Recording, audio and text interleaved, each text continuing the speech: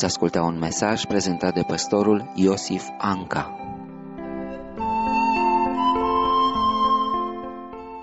Și astăzi și în toate zilele și pentru toată eternitatea, slăvit să fie Domnul. Ne vom opri privind procesul ispășirii, observând regenerarea care Dumnezeu o face în omul păcătos prin ceea ce Scriptura numește nașterea din nou, nașterea din apă și din Duh. Este o nouă genesă, termenul ar însemna a fi complet reformat, schimbat, a fi îmbogățit, a fi mărite performanțele până la o scară și la o dimensiune desăvârșită, a aduce din nou la existență, a fi renăscut spiritual pe alte baze. Hai să citim doar două versete pentru început care prezintă lucrarea aceasta a nașterii din nou, Evanghelia după Ioan, capitolul 1, versetele 12 și 13, unde este scris, Dar tuturor celor ce l-au primit, adică celor ce cred în numele Lui, le-a dat dreptul să se facă copii ai Lui Dumnezeu. Născuți nu din sânge, nici din voia firilor, nici din voia vreunui om, ci din Dumnezeu. Iar Apostolul scrie în Tit, capitolul 3, versetul 7, despre minunea aceasta a nașterii din Dumnezeu, astfel, 3 cu 5. El ne-a mântuit nu pentru faptele făcute de noi în neprihănire, ci pentru îndurarea Lui, prin spălarea nașterii din nou și prin înnoirea făcută de Duhul Sfânt. În mod sigur, cu lucrarea aceasta toți sunteți familiarizați, atât din predică, din citirea Scripturilor, cât cu atât mai mult din experiența proprie a fiecăruia dintre noi care am ajuns să-L cunoaștem pe Domnul. Fiecare are specificul nașterii sale, are vremea nașterii sale, cât despre cei de afară ei nu pot înțelege cu adevărat lucrarea aceasta. Și de aceea, într-o primă jumătate, vreau să încercăm prin Scripturi să răspundem la întrebarea pusă de Nicodim. El a întrebat în Ioan 3 cu 9, stând de vorbă cu Domnul Isus, când acesta i-a zis că este absolut necesară nașterea din nou pentru ca un om să ajungă mântuit, iată expresia lui. Cum se poate face așa ceva? Domnul, prin Duhul care face această lucrare, să ne dea și nouă lumină, să înțelegem încât cei tineri, poate care n-au înregistrat procesul acesta în viața lor.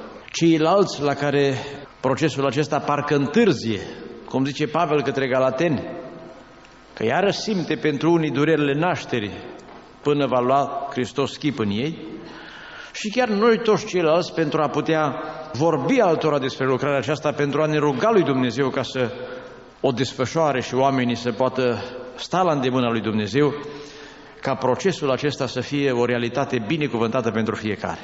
Nașterea din nou este efectiv o naștere, un act creator al lui Dumnezeu.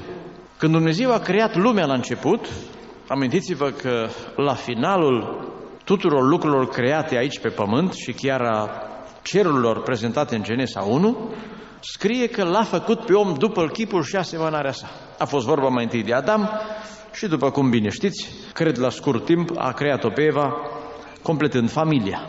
Nașterea din nou, aferentă noului legământ, noului testament, este tot un act creator al lui Dumnezeu. Vreau să facem o paralelă între elementele necesare nașterii din nou, din punct de vedere spiritual, cu cele ale nașterii fizice.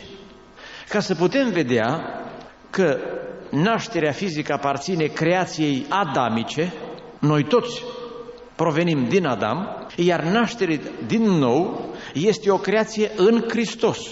Spunea Domnul în aceeași discuție cu Nicodim că trebuie să intervină Duhul lui Dumnezeu în creația aceasta. Pentru că iată ce zice aici în versetul 6. Ce este născut din carne, este carne. Deci orice om născut din Adam, oricât ar fi de bine educat, orice s-ar face cu el, ce e născut din carne, este carne. Adică are aceeași condiție a cărnii păcătoase.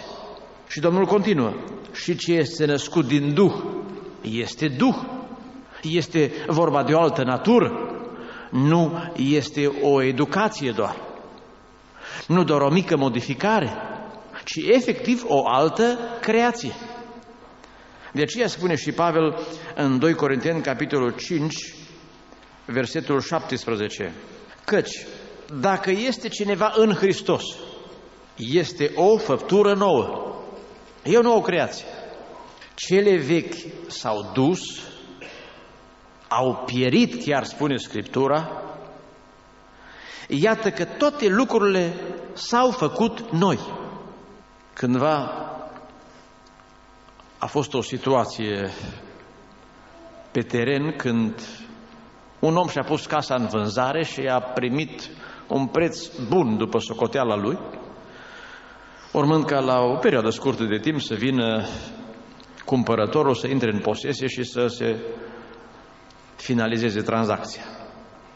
El de teamă ca nu cumva cumpărătorul să se răzgândească, fiindcă el știa defectele casei, s-a apucat de repede, a făcut curățenie, a vopsit geamurile, a aranjat prin curte poarta și nou proprietar când s-a apropiat, a văzut amenajarea, a zis ce ai făcut? Am vrut să-ți o predau în cât mai bune condiții. La care acesta i-a spus, te-ai muncit degeaba. Eu am cumpărat pentru teren, ca să dărâm totul și să fac alta în loc. Cam așa ceva se întâmplă în procesul nașterii din nou. Dumnezeu nu ne aduce câteva retușuri. Dumnezeu ne naște efectiv din nou. Toate cele vechi s-au dus. Doamne, ajută! Haideți să parcurgem uh, elementele comparabile privind în paralel nașterea fizică și cea spirituală. Pentru o naștere fizică este nevoie, fie în lumea vegetală, fie în viața umană sau animală, de sămânța acelei plante sau acelei specii. În plan spiritual, primul lucru care apare este sămânța cuvântului. Iată ce spune 1 Petru 1 cu 23. Fiindcă ați fost născuți din nou, nu dintr-o sămânță care poate putrezi, că putrezește și plantele și oamenii și animalele, ci dintr-una care nu poate putrezi prin cuvântul lui Dumnezeu care este viu și care rămâne în viac. Amintiți-vă că Domnul a dat o pildă, pilda cu sămânța și a tâlcuit-o. Una dintre puținele pilde tâlcuite. Și a zis, sămânța este cuvântul lui Dumnezeu. Cum joacă rolul acesta cuvântul lui Dumnezeu? Amintiți-vă de creația Universului. Dumnezeu a zis și s-a făcut. Cum s-au multiplicat elementele microscopice de ordin chimic, de ordin fizic și lumea este atât de imensă, nouă ne lipsesc informațiile. În primul rând ne lipsesc fiindcă nu ne încape în memoria computerului nostru. La fel, Dumnezeu prin cuvântul Său creează ființe spirituale. Un alt element este sângele. Știți că la viața fizică, în sânge se află viața. De aceea, în Vechiul Testament, Dumnezeu le-a interzis să nu-l folosească. Singura lui utilitate era pentru jerfe, dacă nu trebuia vărsat pe pământ. În nașterea spirituală, noi avem la îndemână sângele mielului. În 1 Ioan, capitolul 1, versetul 7, este prezentat rolul acestui sânge. Dar dacă umblăm în lumină, după cum El însuși este în lumină, avem părtășie unii cu alții și sângele lui Iisus Hristos, Fiul Lui, ne curățește de orice păcat. Este ca și cum întreaga natură veche ar fi fost curățită printr-un vaccin special care rezolvă și problema trecutului și face curățenia în mod permanent pentru viitor. Și nu mai lasă, păstrând comparația, ca nicio celulă să se îmbolnăvească. A făcut o revitalizare completă. Un alt element, apa. Este elementul fundamental al vieții. Apa, în plan spiritual, este combinația dintre lucrarea cuvântului și a Duhului, sau, cu alte cuvinte, cuvântul, după cum este impulsionat și activat de Duhul lui Dumnezeu. Și tot păstrând acest simbol, nașterea din nou este evidențiată prin botez, care este o spălare, nu din punct de vedere fizic, ci simbolică a faptului că apa și-a făcut rolul ei. Iată ce scrie în Efeseni 5 cu 26 despre întreaga biserică. Domnul Hristos a vrut ca să o sfințească după ce a curățit-o prin botezul cu apă, prin cuvânt. Botezul cu apă este doar finalitatea lucrării curățirii apei cuvântului.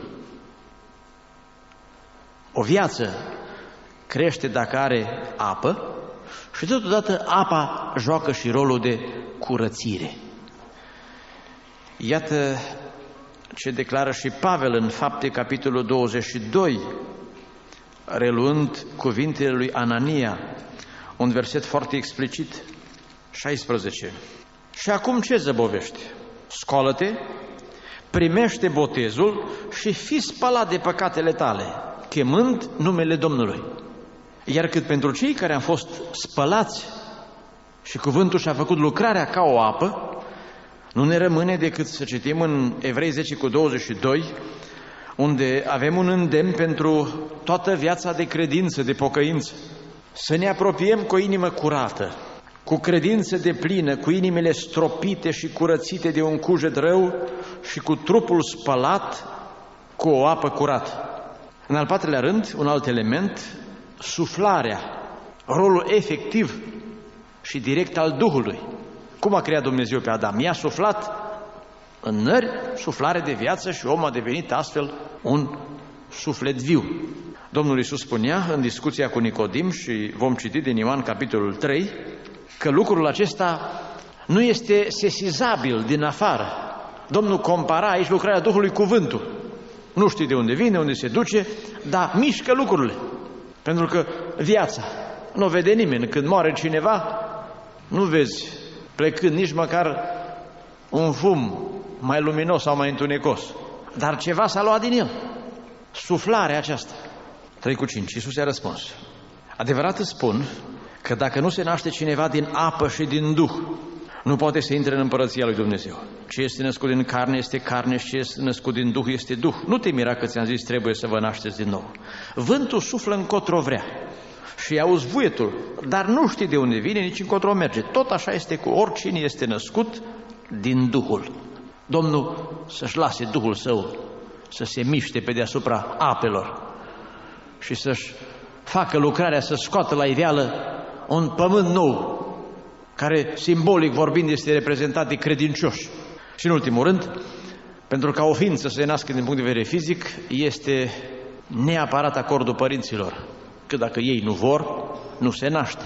Pentru ca cineva să fie născut din punct de vedere spiritual, este nevoie de intervenția Tatălui prin voia sa, prin acceptul său. El a decis. Iată ce frumos scrie în epistola lui Iacov, capitolul 1, versetul 18.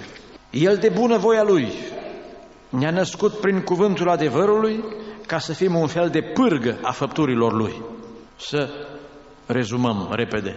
Deci noi suntem născuți spiritual din sămânța cuvântului, sub prelucrarea care Duhul Sfânt o face cu ajutorul cuvântului, pe baza sângelui ispășitor al Mântuitorului. Acestea sunt elementele care funcționează în a da viață noi ființe. Și toate se desfășoară sub voia și privirea binecuvântată a Tatălui Ceresc, slăvit să fie numele Lui. Vreau să mai privim la procesul acesta ca să înțelegem din plin cum se poate face așa ceva, observând nașterea din nou ca o restaurare totală. Scriptura prezintă lucrarea aceasta ca o trezire, ba chiar mai mult, ca o înviere. Amintiți-vă de ordinea debutului Noul Testament. A venit Ioan Botezătorul și el a zis reluând ce a scris Isaia. Eu sunt glasul celui ce strigă în pustie. Când cineva strigă, oamenii se trezesc. Dar când Dumnezeu vorbește, oamenii învie. Ioan Botezătorul a venit să-i trezească, iar Domnul a venit să-i învie. De aceea spunea Domnul Isus în Evanghelia după Ioan, în capitolul 5, versetul 24, astfel. Adevărat, adevărat vă spun că cine ascultă cuvintele mele și crede în Cel ce m-a trimis, are viața veșnică și nu vine la judecată, ci a trecut din moarte la viață. Se produce o înviere prin cuvântul lui Dumnezeu. De altfel, așa vor învia și morții cu ocazia răpirii, a venirii Domnului. Însuși Domnul, cu un strigăt, glasul lui Dumnezeu va produce învierea. Știm și versetul următor. Adevărat, adevărat vă spun că vine ceasul și acum a și venit când cei morți vor auzi glasul Fiului Dumnezeu și cei ce îl vor asculta vor învia. Deci este o prezentare simbolică a realității nașterii din nou. Glasul lui Dumnezeu înviază oamenii. De ce am zis că este și o trezire și o înviere? Fiindcă ambele sunt prezentări simbolice. De exemplu, vă dau un verset unde aceste două elemente sunt trecute împreună. Efeseni 5 cu 14. De aceea zice, deșteaptă-te tu care dormi, scoală-te din morți și Hristos te va lumina. Oamenii în lumea aceasta sunt ca adormiți. Ei ce fac? Fac ca și într-un vis. Când te uiți, câtă nebunie, cum spune Scriptura, este în lumea aceasta. Oamenii de știință care sunt socotiți pionii umanității din punct de vedere al înaintării, se trudesc săracii. Auzeam despre o nouă, în ghilimele spus, a științei pe nedrept numite astfel, cum zice Pavel, descoperire despre o glaciațiune care a avut loc cu sute de milioane de ani înainte. Oamenii spun lucrurile acestea de parcă visează, că numai oamenii în vis trăiesc asemenea irealități, fiindcă ei sunt morți, sunt deconectați de la sursa de înțelepciune și de cunoaștere și între timp diavolul i-a racordat la minciunile sale și din nefericire se hrănesc cu ele. Iată ce scrie tot în Efesen de la capitolul 2, versetul 1, descriind pe larg procesul învierii. Voi erați morți în greșelile și în păcatele voastre, pentru că păcatele și greșelile i-au dormit pe oameni, ca și Dalila pe Samson și apoi oamenii și-au pierdut viața în care trăiați odinioară după mersul lumii acesteia, după Domnul puterii văzduhului, a Duhului care lucrează acum în fiii neascultării. Între ei eram și noi toți odinioară. Versetul 4. Dar Dumnezeu care este bogat în îndurare pentru dragostea cea mare cu care ne-a iubit, măcar că eram morți în greșelile noastre, ne-a adus la viață împreună cu Hristos. Prin har sunteți mântuiți. El ne-a înviat împreună și ne-a pus să ședem împreună în locurile cerești în Hristos Iisus. Știți care a fost momentul învierii? Deschideți, vă rog, la Roman 6. Acolo avem prezentat momentul și chiar procedura învierii noastre, de la moarte la viață. Citim de la versetul 4. Noi, deci, prin botezul în moartea Lui, am fost îngropați împreună cu El, pentru că după cum Hristos a înviat din morți prin slava Tatălui, tot așa și noi să trăim o viață nouă. În adevăr, dacă ne-am făcut una cu El printr-o moarte asemănătoare cu a Lui, deci noi am murit împreună cu El când am fost cufundați în apa botezului. Pentru noi, chestiunea aceasta a fost de ordin simbolic, Domnul a purtat-o în mod real. Vom fi una cu El printr-o înviere asemănătoare cu a Lui. Domnul a înviat, s-a înălțat la cer, ne-a trimis Duhul, care ne înviază și pe noi și am citit că ne-a pus să ședem împreună cu Hristos în locurile cerești. Vorbeam cu o săptămână în urmă despre noua noastră poziție pe care o avem prin ispășire. Dumnezeu nu se mai uită la noi ca la niște păcătoși pe care ne-a eliberat de milă, ci se uită la noi ca la niște fii drepți. Pentru că procesul învierii s-a produs. Și când ai de face cu un om nou, nu te mai la el ca la un hoit. Nu mai miroase ca un mort, nu-și mai merită sicriul și cimitirul, ba din potrivă. El este introdus în casă și, ba chiar pe deasupra, încununându-l cu glorie, este pus pe tron. Și deși versetul 6. Știm bine, deci este o certitudine că omul nostru cel vechi a fost răstignit împreună cu el, a murit. Și dacă mai încearcă să învieze nu omul nou, omul vechi, lăsați-l pe cruce, ba chiar pironiți-l de grabă, că procesul morții este prin răstignire, o moarte asemănătoare cu a lui, să se lapede de sine și să trăiască astfel noua viață. Iată cu ce scop și cu ce efect și vom vedea imediat mai târziu. Pentru ca trupul păcatului să fie dezbrăcat de puterea lui, în așa fel încât să nu mai fim robei păcatului. Omul nostru vechi era păcătos din facere, păcătos prin activitate. Omul nostru nou nu mai are de-a face cu păcatul. Este o nouă creație, curățită prin sânge, apă, lucrată de Duhul, sub asistența atotputernică a lui Dumnezeu. De asemenea, procesul acesta, din punctul de acceptare a omului, este o convertire. Ce înseamnă convertire? O întoarcere la inițial, o schimbare a minții, a inimii, a dorințelor, a caracterului, a sensului vieții, a întregii ființe. Iată cum se ruga David în psalmul 51, atunci când după păcatul său a dorit poate mai mult ca toată viața, să scape de păcat și să trăiască adevărata neprihănire și dreptate. Versetul 13. Atunci voi învăța căile tale pe cei ce le calcă și păcătoșii se vor întoarce la tine. Este dovada schimbării, întoarcerea cu toată inima către Dumnezeu. Întoarcerea aceasta este prezentată în Noul Testament, vă rog deschideți la Matei, capitolul 18, chiar de Domnul Isus, într-un mod foarte plastic. Domnul stătea de vorbă cu ucenicii și le vorbea despre împărăție și nu era ușor să priceapă. Și dintr-o dată, parcă vrând să le explice despre ce e vorba, a luat un copilaș, l-a pus între ei, era un experiment în mijlocul lecției și le-a zis, citesc versetul 3. Adevărat vă spun că dacă nu vă veți întoarce la Dumnezeu și nu vă veți face ca niște copilași, cu niciun chip nu veți intra în împărăția cerurilor. Un copil, din punct de vedere al faptului că el atunci le învață, atunci învață să umble, el pe toate le învață.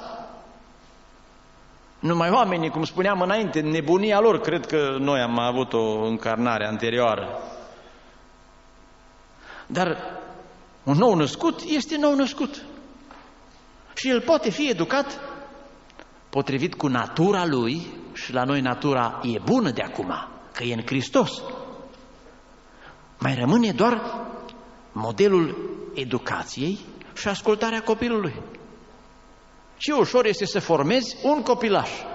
Nu degeaba spunem noi românii că un cal bătrân greu mai poate fi lămurit, dar un animal sau un om care este o nouă apariție are cea mai mare șansă să primească forma dorită de părinte, de tutore, de cel care vrea să realizeze lucrarea aceasta.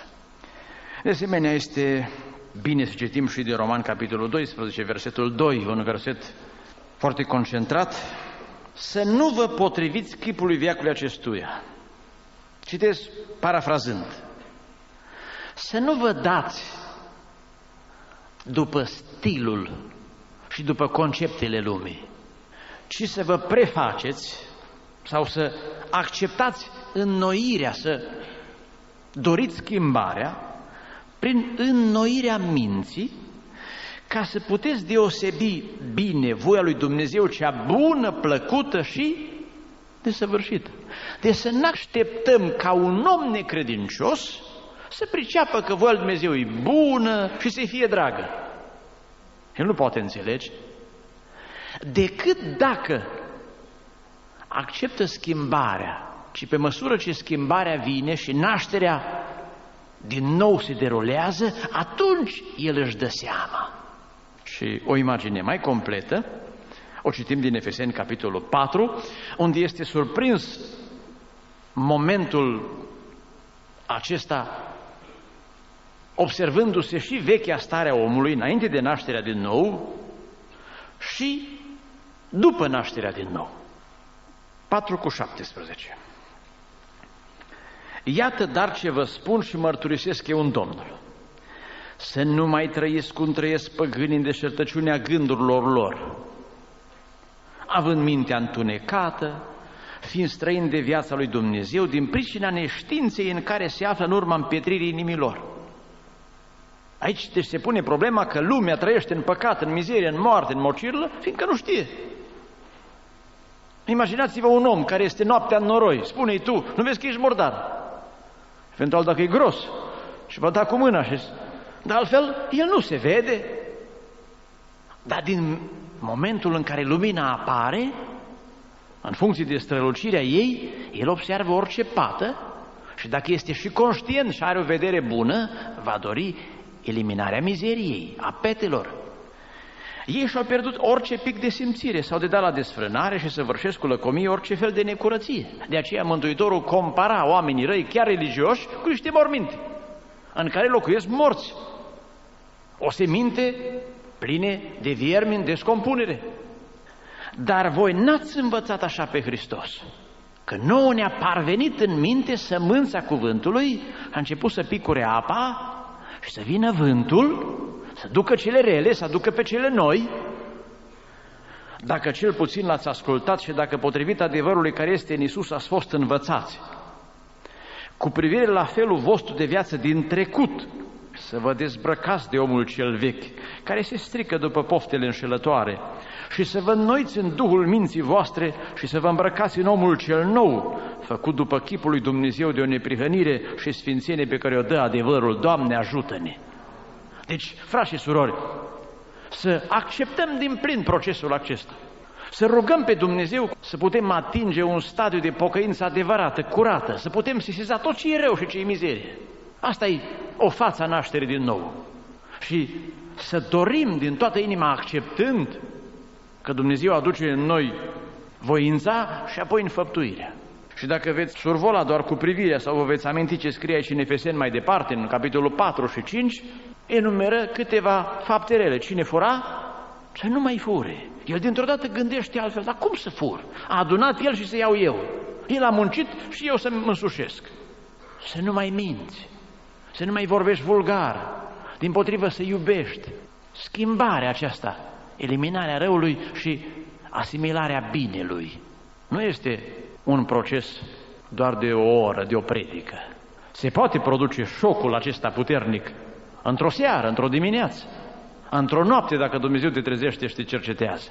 Dar este totuși o luptă, poate de zile, poate de săptămâni, la alții de luni. Alții care nu-și dau toate eforturile, ani de zile se luptă. Și au domenii la care nu s-a produs restaurarea, schimbarea.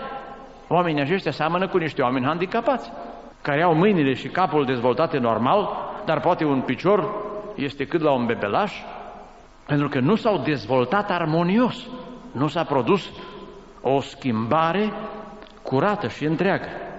Și, în ultima instanță, în privința nașterii din nou și a restaurării, Scriptura ne spune că intervine un proces de mutare din împărăția diavolului în împărăția lui Dumnezeu, de la întuneric la lumină, din condițiile blestemului și a morții în cele ale vieții și ale binecuvântării.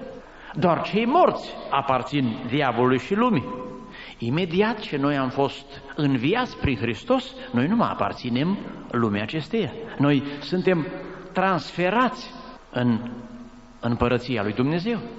Nu mai suntem din lumea aceasta. Așa se ruga Mântuitorul, arătându-ne ce a făcut El prin lucrarea sa.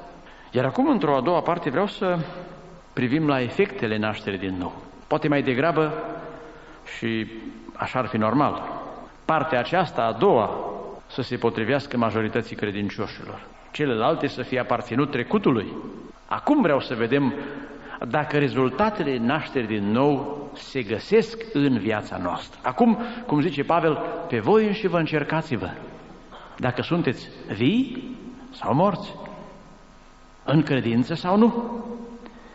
Și vreau să facem verificarea aceasta mai întâi în raport cu întunericul, cu cele vechi, și în mod special cei care au venit din lume se pot verifica cu atât mai bine și mai mult, și în a doua parte verificarea cu cele noi. Deschideți, vă rog, la 1 Ioan, capitolul 5. Noi toți am fost smulși din lume. Iată ce scrie aici, în versetele 4 și 5, ce trebuie să se întâmple cu un om care a fost născut din nou și nu mai este în lume.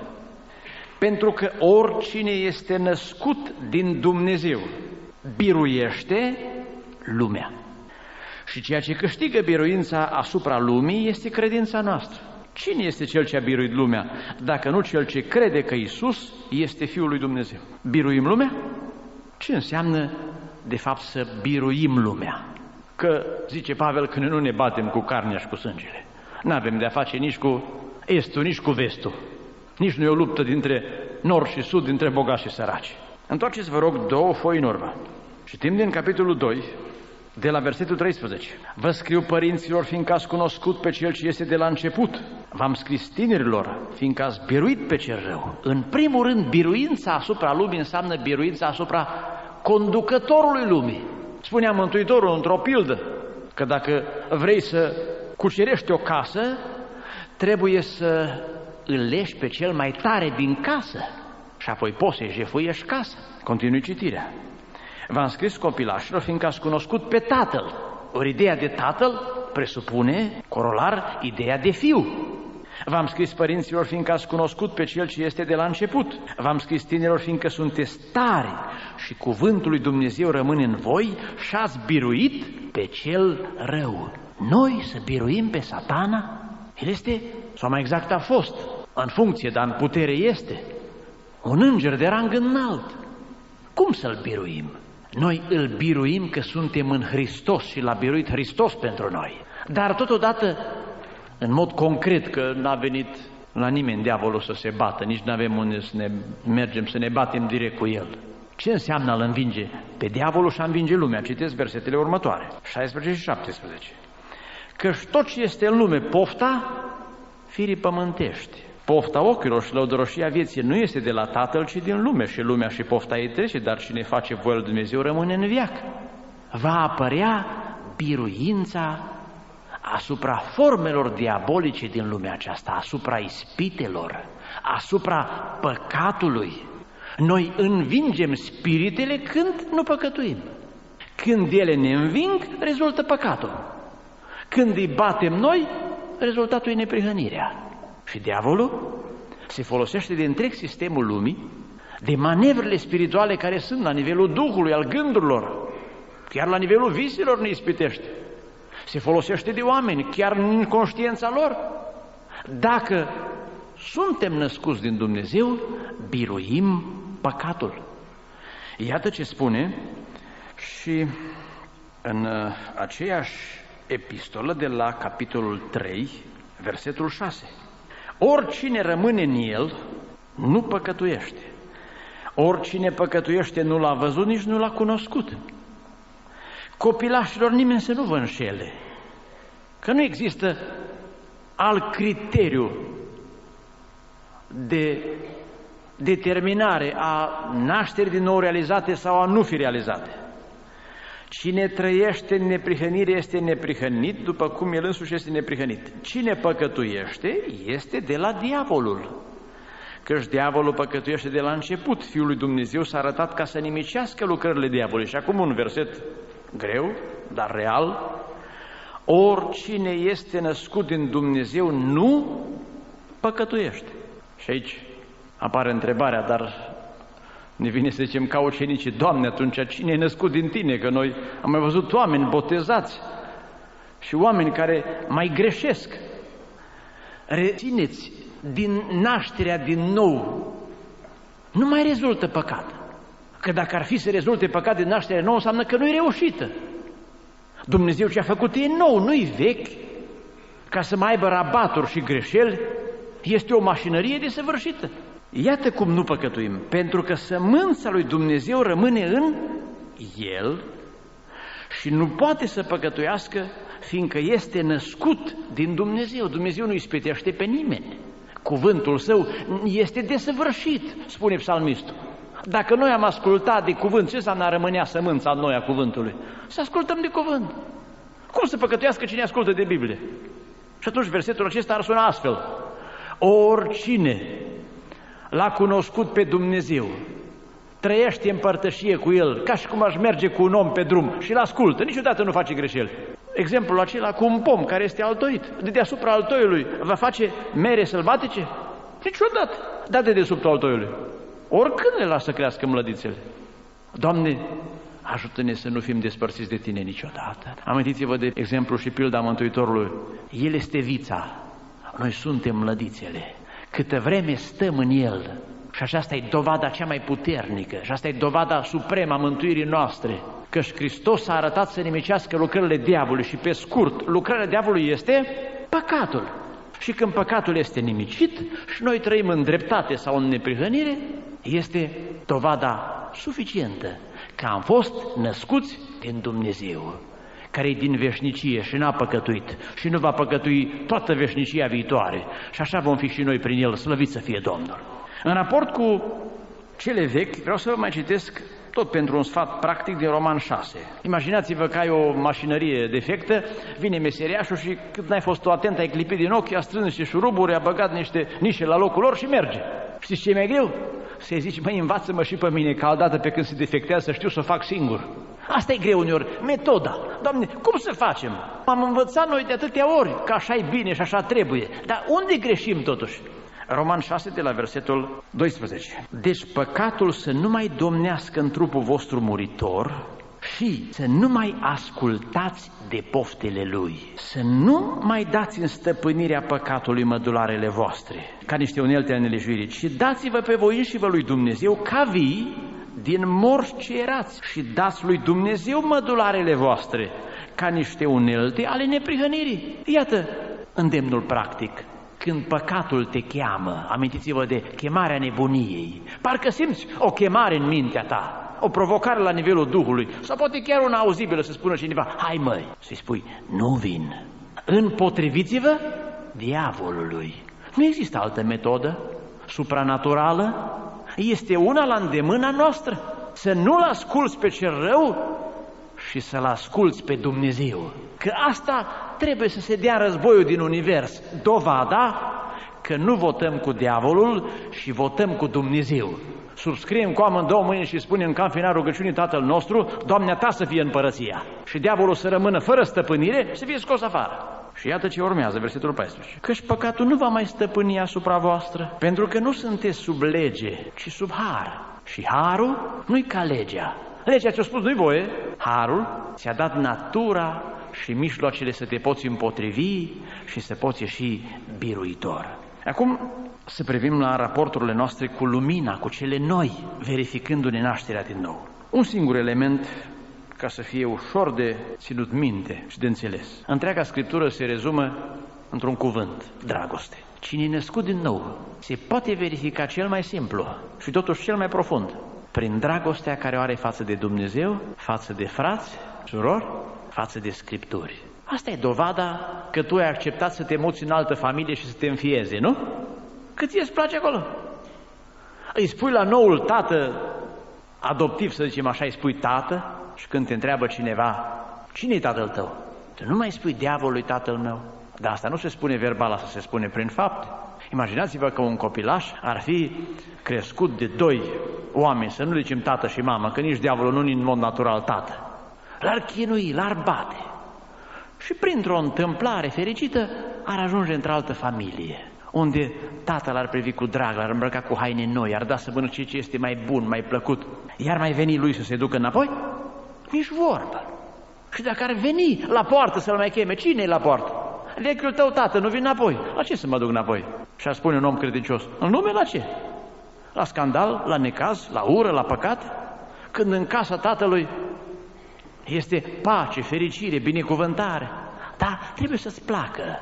Și asta e dovada că ți s-a schimbat natura. Că vechii naturi nu-i plăcea binele. Știți ce a zis Pavel despre statutul firii pământești? Și dacă ar învăța-o cineva și să-l dădăcească bine un pedagog bun, măi, trebuie să faci binele, să te sfințești, și spune, da, da, da. Și imediat dinăuntru parcă ceva ar fi totul împotrivă și a spune, da, da, zici tu bine, dar mie nu-mi place așa. Asta e dovada că e o natură nouă. Că dinăuntru simți iubire pentru Dumnezeu și pentru tot ce e sfânt, pentru noua familie. Că altfel, dacă nu ne-ar place și n-am iubit noua stare, ar fi o fericire pentru noi veșnicia cu Dumnezeu? Nu. Ar fi mai degrabă un chin. Hai să citim câteva versete pe linia aceasta. 1 Ioan, capitolul 4, de la versetul 19. Noi îl iubim pentru că El ne-a iubit întâi. Dacă zice cineva, eu iubesc pe Dumnezeu și urăște pe fratele său, este un mincinos, căci cine nu iubește pe fratele său pe care îl vede, cum poate să iubească pe Dumnezeu pe care nu-l vede? Și aceasta este porunca pe care o avem de la El. Cine iubește pe Dumnezeu, iubește și pe fratele său. Oricine crede că Isus este Hristosul, este născut din Dumnezeu și oricine iubește pe Cel ce l-a născut, iubește și pe Cel născut din El. În mod automat. Îl iubim pe Dumnezeu și pe frații. De aceea ne rugăm unii pentru alții și cântăm împreună și ne va place să fim împreună aici și o veșnicie întreagă. Și dacă noi cântăm, cântăm despre Domnul. Doamne, crește iubirea în noi. Observați de ce este problemă când scade dragostea din noi? De fapt, față de cine scade dragostea? Față de Dumnezeu, frați, cuvânt? Este un proces de înstrăinare de familie, care cu vremea se va solda cu părăsirea familiei. Cine nu are iubire față de noua familie, e semn că nu mai are comuniune, cum spune în aceeași epistolă, avem părtășie cu Tatăl în lumină. Deja parcă se duce spre sferele întunericului. Continui să citesc de la versetul 2. Cunoaștem că iubim pe copiii lui Dumnezeu, prin aceea că iubim pe Dumnezeu și păzim poruncile Lui. Căci dragostea de Dumnezeu stă în păzirea poruncilor Lui și poruncile Lui nu sunt grele. Și normal că nu sunt grele din moment ce ajung să-ți placă. Că din ce-ți place nimic nu-i greu, nimic nu-i scump, nimic nu-i prea departe, nimic nu-i prea mult. Că dragostea este superioară oricăror legi. Cum să nu-ți placă cuvântul dacă îți place de Dumnezeu? ce e de fapt cuvântul? Ce îi place la Dumnezeu? Asta e cuvântul. Cuvântul este cel care ne uniformizează pe toți, dându-ne forma Tatălui. Dar cum să nu ne iubim cuvântul când noi din cuvânt am fost născuți? Cine își iubește vreodată trupul lui? Îl îngrijește cu drag. Și dacă nu-i chiar așa, ca de cristal, de a lui. Este carnea lui. Noi suntem născuți din această sămânță a cuvântului. Cum să nu ne placă? Și Duhul lui Dumnezeu, chiar elementul acesta îl înnaște în noi. Pune dragoste, cu aceasta începe roada Duhului. Dragoste mai întâi față de persoana lui Dumnezeu și aproape imediat de persoanele fraților, de noile principii sfinte și astfel, când ne-am îndrăjit de Biblie, de fapt, de ce ne-am îndrăjit? ce în Biblie? Pe lângă Dumnezeu, sub o altă prismă privind lucrurile. Sfințenia, dreptatea, neprihănirea. Când îți place Biblia, îți place adevărul, îți place trăirea frumoasă, curată. Iată ce scrie în aceeași epistolă, este foarte bogată epistola aceasta. Capitolul 3, versetul 24. Și ne păzește poruncile lui rămâne în el, și El rămâne în El, adică Dumnezeu în noi. Și cunoaștem că El rămâne în noi prin Duhul pe care ni l-a dat. Și știți că și Duhul mărturisește, este scris și în Roman și în Galaten 4 cu 6, că Duhul mărturisește din noi, ca și cum ar semnaliza cu o anumită intermitență, spunându-i Tatălui, și acesta este al nostru. Eu am locul în el, este fiul tău, tată. După cum și Domnul a mărturisit în rugăciune când a zis, iată ei sunt care mi-ai dat, în afară de Iuda care s-a pierdut. Iată, în ce relație binecuvântată am ajuns noi cu Domnul, slăvit să fie numele Lui. Vreau să încheiem, recapitulând și punctând două idei. Nașterea din nou este cea mai mare minune. La nașterea din nou sunt prezente toate elementele necesare unei noi creații. Cuvântul, sângele mielului, prezența Duhului, voia Tatălui și lucrarea simbolică a apei cuvântului și apoi a botezului ne dă noul nostru statut de creat în Hristos, nu numai creat în Adam. La noi când murim, nu moare cel creat în Hristos, moare cel creat în Adam. Nașterea din nou este o totală restaurare, o înviere din morți, o întoarcere totală care modifică toate structurile ființei noastre, de la gânduri la fapte. Iar ca efecte v-am dat doar două. Când te uiți înapoi în lume și păcatul vine după tine, tu nu te mai întorci înapoi. Și nemai privindu-l nu mai are putere să te oprească din drum. Oricât te-ar striga diavolul prin lumea aceasta, prin poftele care ar încerca să facă legătură cu elementul nostru carne pe care îl ținem răstignit acolo.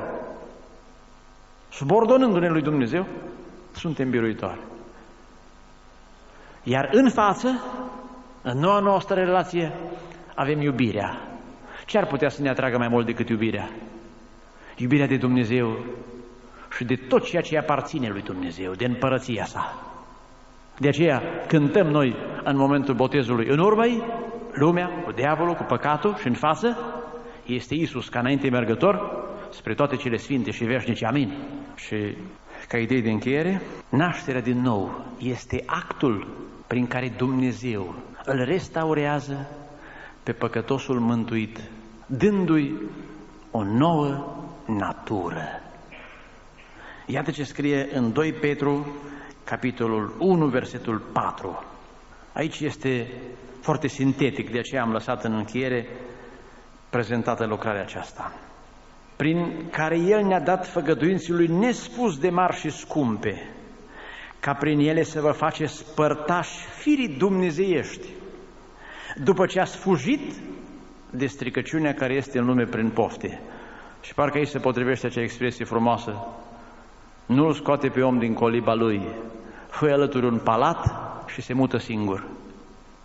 Asta e chemarea lui Dumnezeu la noua lui familie. Lasă-ți mizeria ta veche și mută-te în palatul care Dumnezeu ți-l oferă, unde Domnul Hristos este rege. Slăvit să fie El. Amin.